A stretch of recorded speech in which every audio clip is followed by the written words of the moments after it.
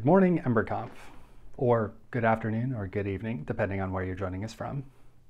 I honestly didn't think I'd be giving this talk virtually, but it has amazed me how the Ember community, and especially the EmberConf team, have come together to make this all happen. And it, it really is truly incredible to me. We may be stuck, but at least we're stuck together. Anyways, my name is Chris, and I'm a software engineer at LinkedIn and I'm also an Ember Core team member. You might know me better by my internet handle, pzuraq. This is me on Twitter, GitHub, Discord, basically everywhere else. And today I'm here to talk about reactivity. First up, what is it? And why do we care? Well, in a nutshell, reactivity is how apps update when things change.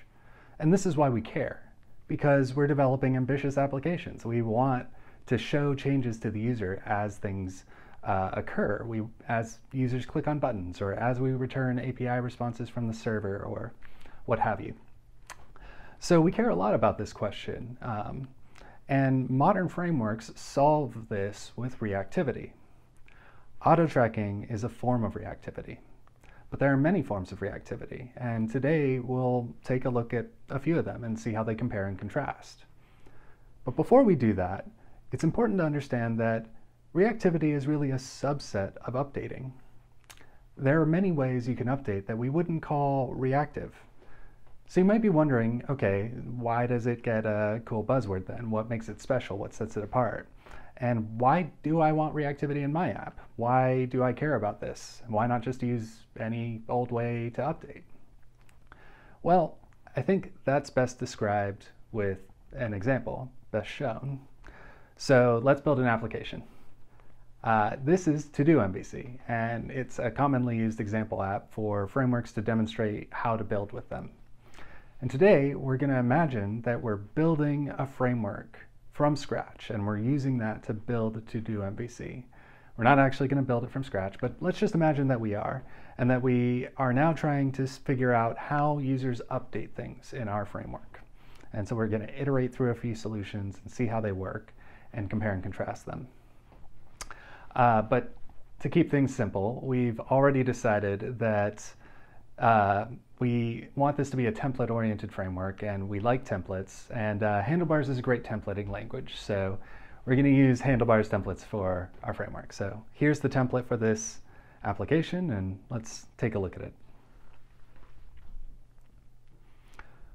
So first up, we can see that there's an input at the top, which is where users can add new to-dos. And then uh, we have the currently displaying to-do list. So whatever is currently displaying, we have their checkboxes and their titles. And then we have the footer where we can see the items left and the filter buttons where we can select all to-dos or active to-dos or completed to-dos. And here's the JavaScript that is backing uh, that template. It's a lot to take in, so let's take a moment to read it.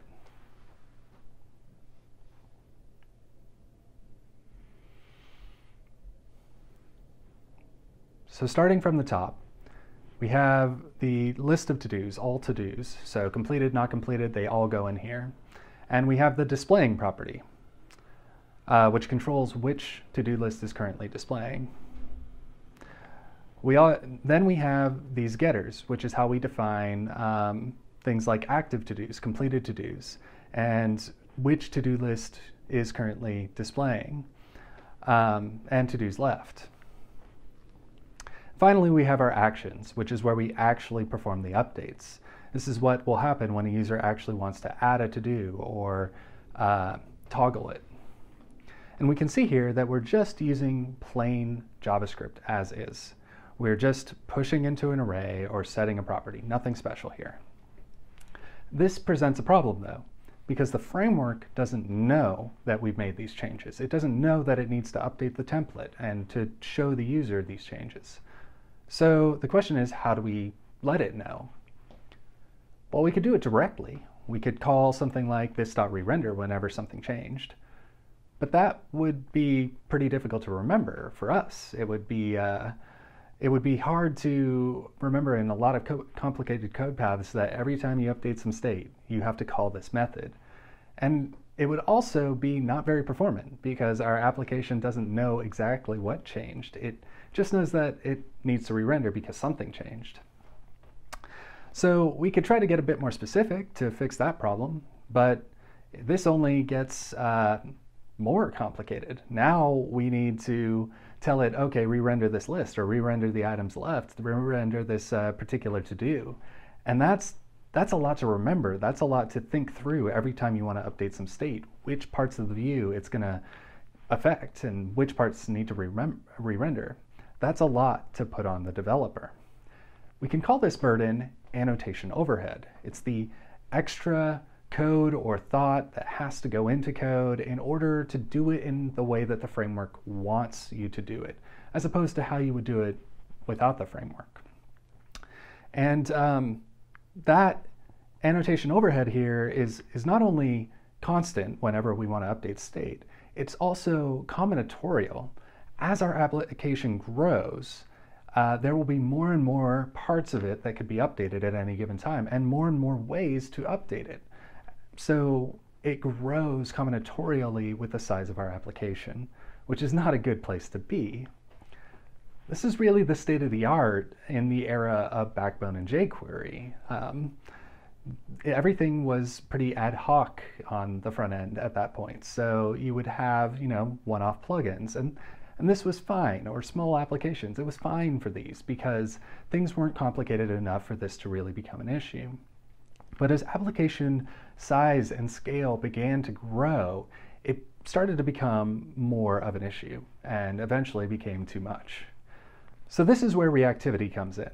Reactivity was a way to solve this, to make sure that your application complexity, that your updates and uh, complexity grows linearly instead of uh, exponentially with the size of your application.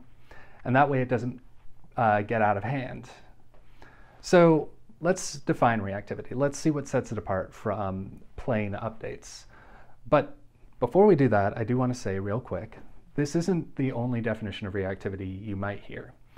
Uh, it's one of those words that's kind of fuzzy and it's a buzzword that it's used a lot in context right now, but and people understand what it means, but it doesn't really have an agreed upon, a super agreed upon definition.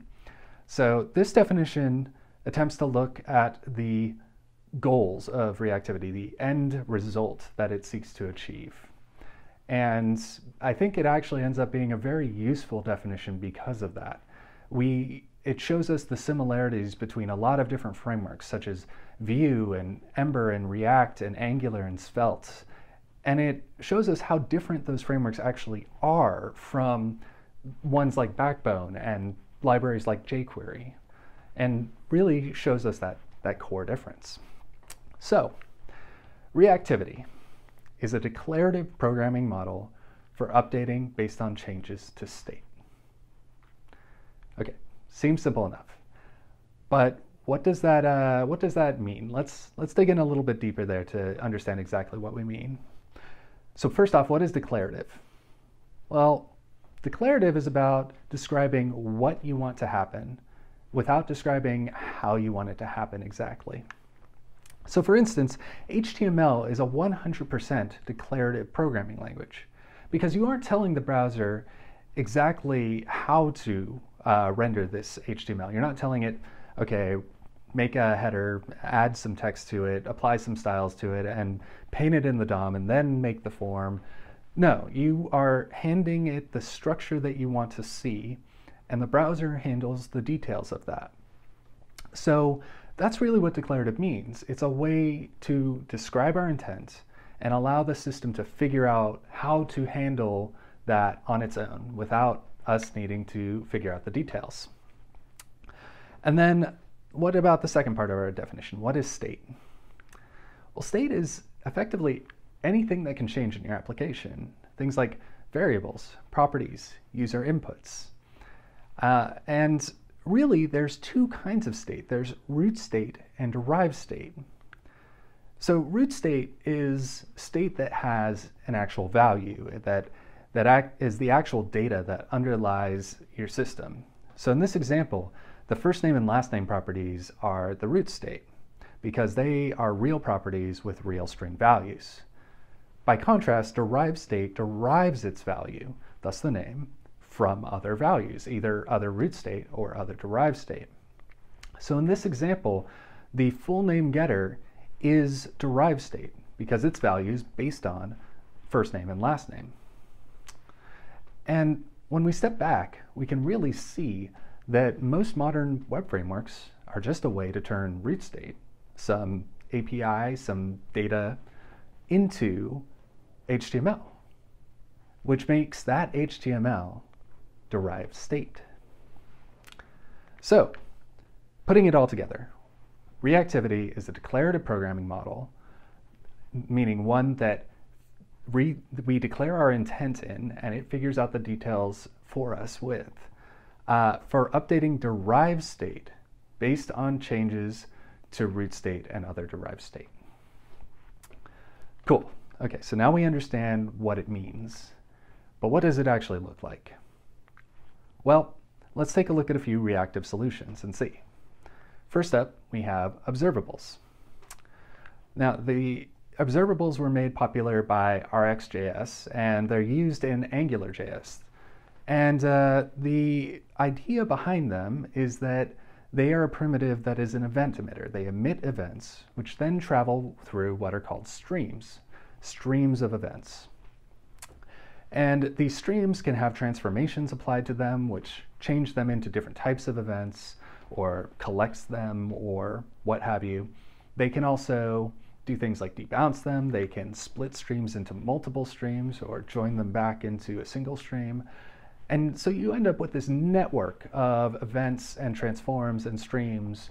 And on the other end of the network, you have subscribers who are listening for events and reacting to them as they come through the system. This is known as push-based reactivity because we're pushing changes through the system as they occur. So let's see what this does to our code. Answer is a lot. So stepping through it, here's our root state, the list of to-dos and the displaying property. But it's changed from being a plain array and property to being a observable because now we need everything to be in terms of this new reactive system. Everything needs to be made in terms of events. So we create our observables with their initial event, which is the state of the system. Next up, we have our derived state, the getters originally. But now they are uh, transforms on those observables because again, they have to be defined in terms of the system.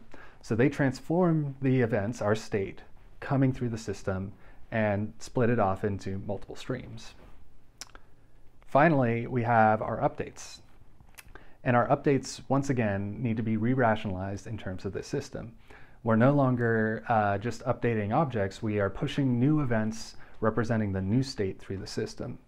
And I do this with an immutable approach here where I clone the previous state and add a new state to it. So I'm never actually mutating anything because you don't want necessarily want references to objects that are being mutated floating around the system. Um, but there are many ways you could possibly do this in RxJS, and this is just one method for it. The key point is that our annotation overhead has uh, grown significantly here in some ways. We, we now have to wrap every part of our application, the root state, the derived state, and the actions. Um, so that is definitely a lot. And it may seem like, oh wow, that's, that's not ideal, right? But this is actually not that different from what we had in Ember Classic, as it turns out. In Ember Classic, you had to wrap root state. Things like Ember Array and uh, proxies and whatnot would be used to wrap root state quite frequently. And you wouldn't have to do it for properties, but you still had to do it. For derived state, we had to tell the system about every computed property and all of its dependencies.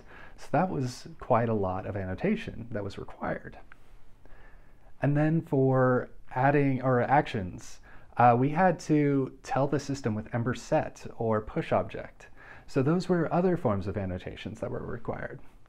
So overall, Ember Classic was the same amount of annotation overhead as observables.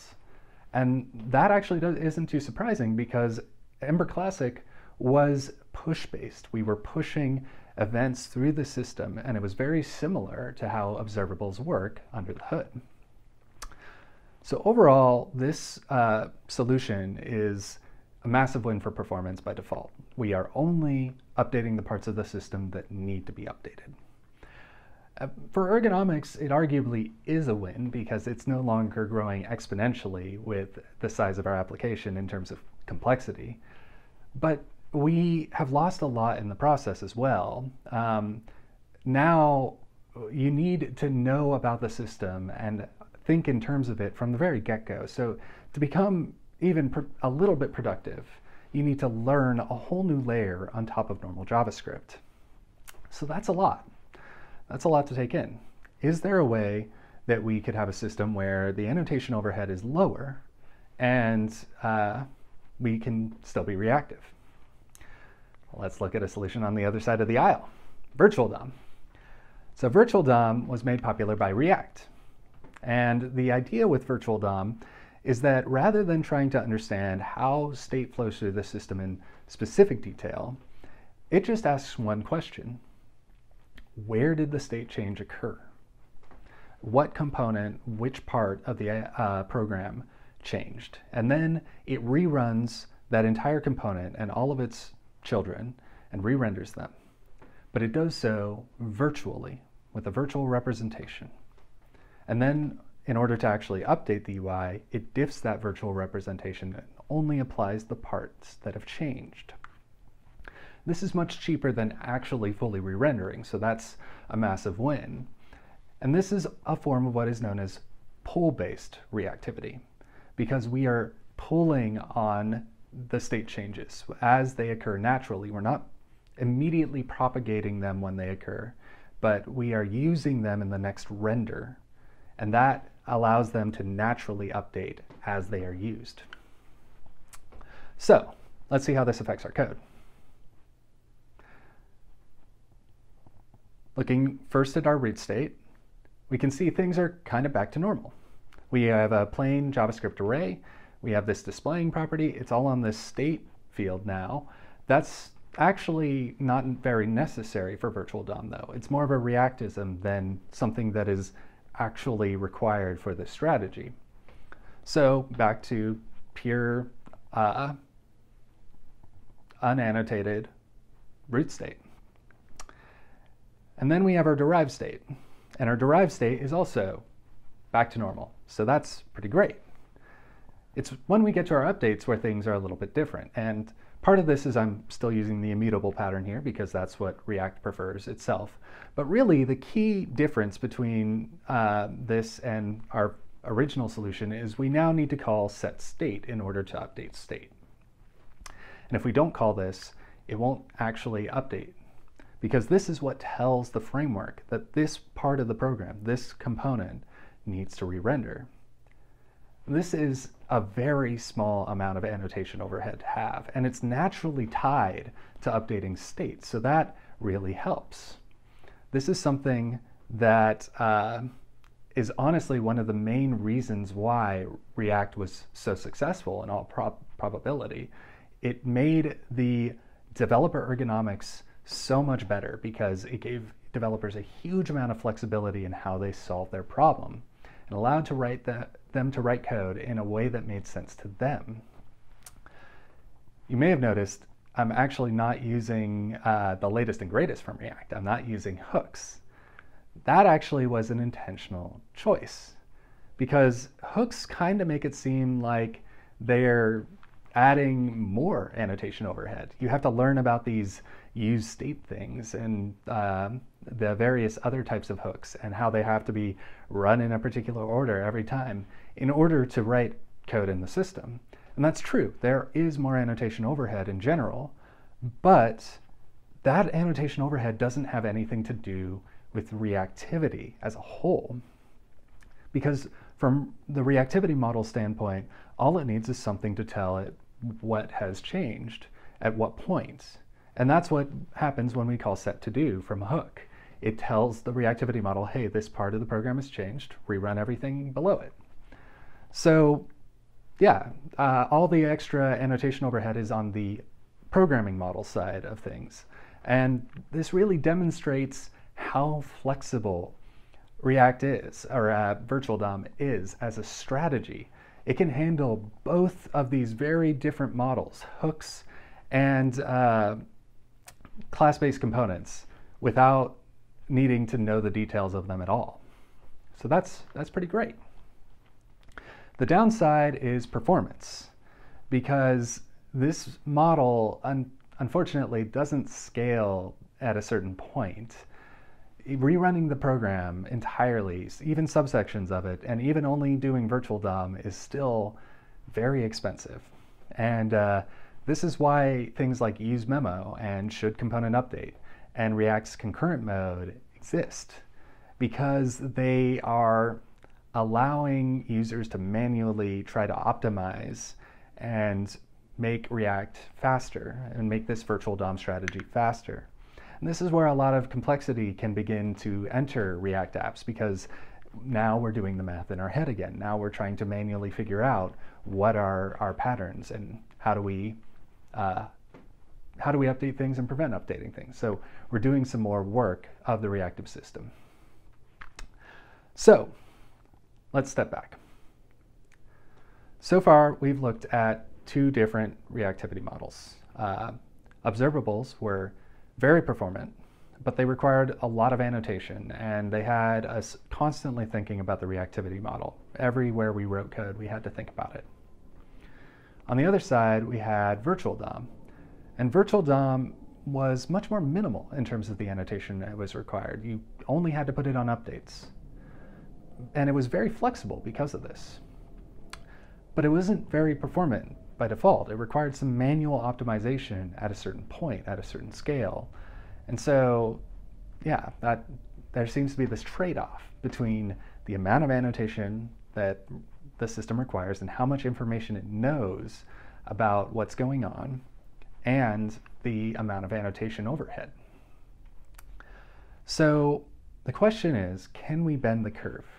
Can we have a reactivity solution that is both performant by default and uh, that require, has minimal annotation overhead. Enter auto tracking. So auto tracking approaches this from a different angle. It tries to focus entirely on root state.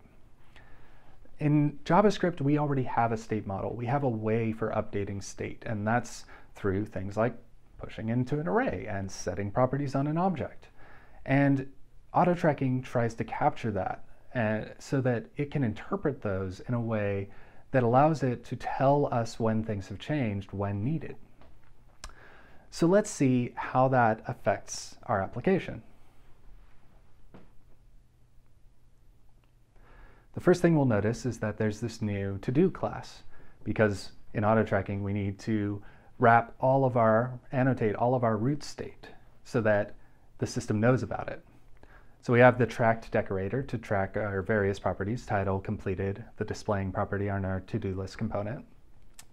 And we also have this tracked array, which is just a reactive array. Um, it's not provided by Ember, it's provided by the tracked built-ins add-on that I maintain. Uh, but you can just think of it as an array that you can treat like a normal array, but when you mutate it, it will let the system know that changes have occurred. And once we wrap our root state this way, we can see that everything else kind of falls into place. We, our derived state is just like normal, and so are our updates. They are just like the original example, without any details needed to be changed. So this is a massive win for ergonomics overall because it requires minimal annotation overhead only on one part of the system, just like Virtual DOM. But it's also a massive win for performance because it is just as performant as observables, if not more performant. The secret here is that auto tracking associates root state with output. And it does so without caring about the details of how that output is generated. To it, all of those details are just a black box. How does it do this? With a technique known as memoization.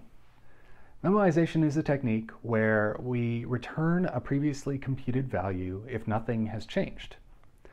So, for instance, in this example, we have a memoized render function, which has a call to a real render function within it. It stores the last va return value of that render function, and it stores the last arguments.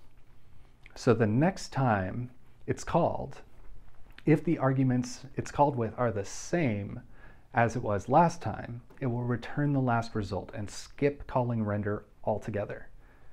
Memoization is a way that we can really speed up applications because we can skip unnecessary work this way. But in auto tracking apps, we want to do something slightly different. We don't want to memoize based on the arguments that are passed to us.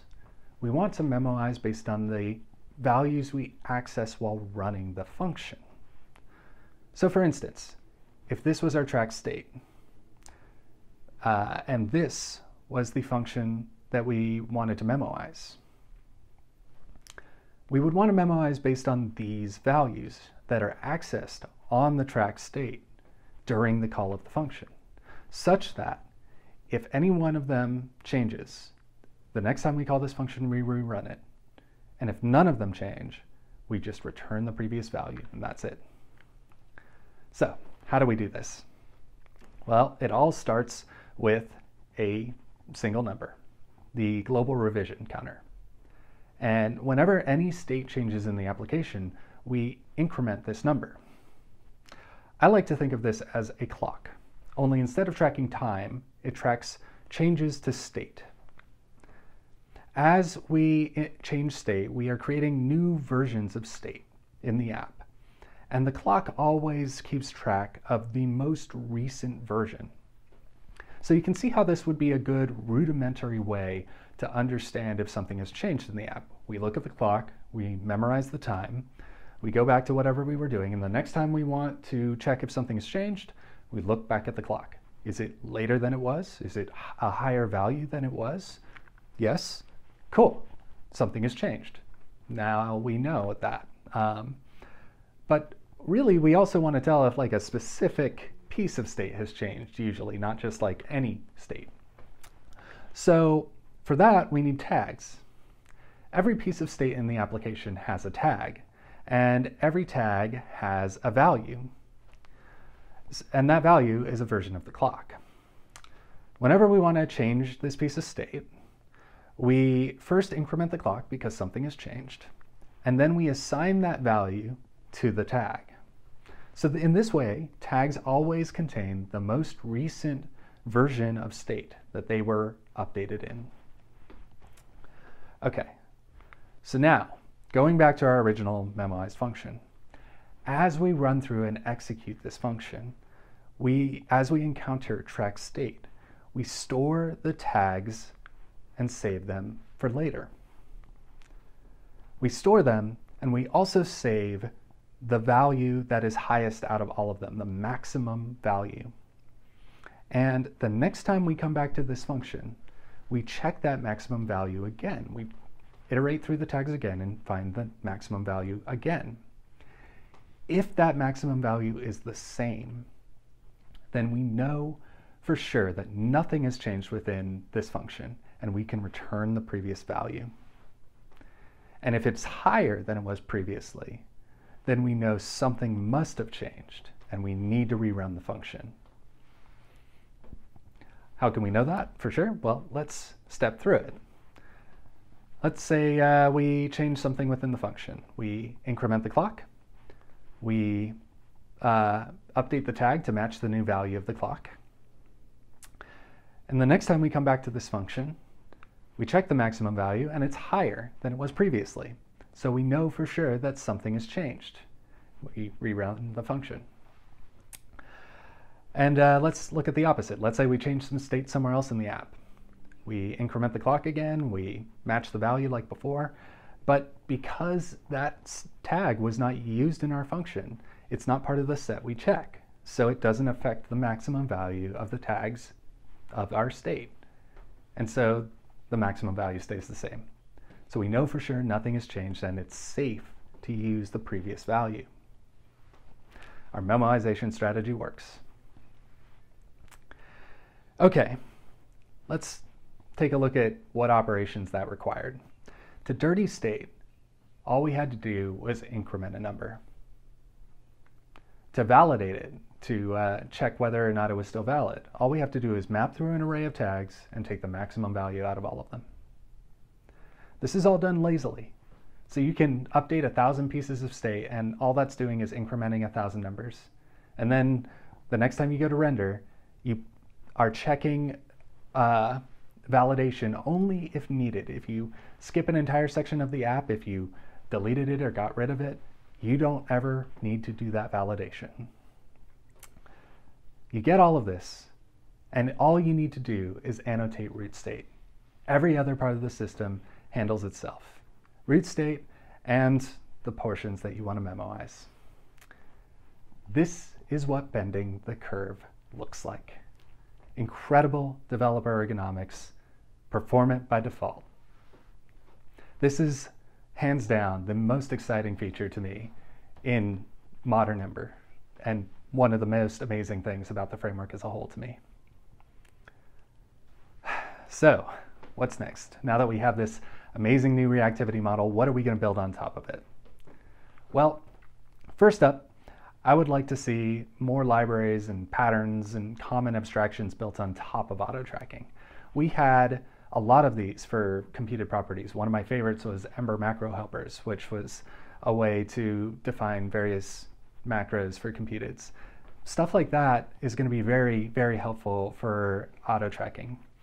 Uh, and I've already started with the tracked built-ins add-on, which creates tracked versions of JavaScript's uh, arrays and maps and sets, allowing people to create use them as root state using their standard APIs. And um, I think we could see more of this. We could see tracked local storage and tracked IndexedDB, tracked versions of Apollo and Redux. I, I, think that making more libraries like this will be very helpful, and I'm very excited to see what the community does with that. Beyond that, I think that tooling is very important, and I would like to see us invest a lot more in that space. Um, I think that actually auto tracking kind of gives us an unprecedented ability and, and chance to really make some amazing tooling improvements.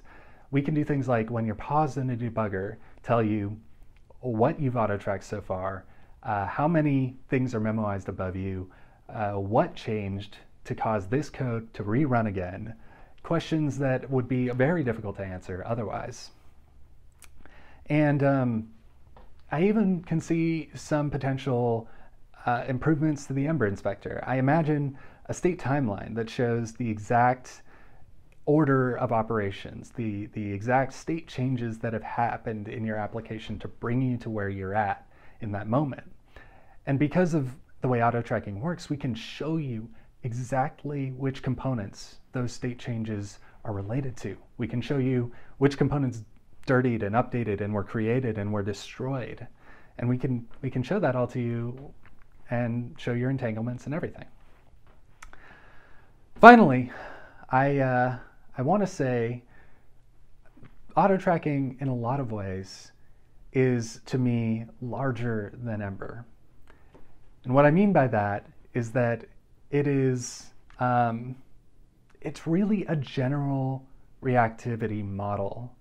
It's something that can be used outside of the context of a rendering engine and a view layer. It can be used anywhere. And so, and it also is a reactivity model that doesn't really exist in the wider JavaScript ecosystem yet. There's nothing really quite like it yet.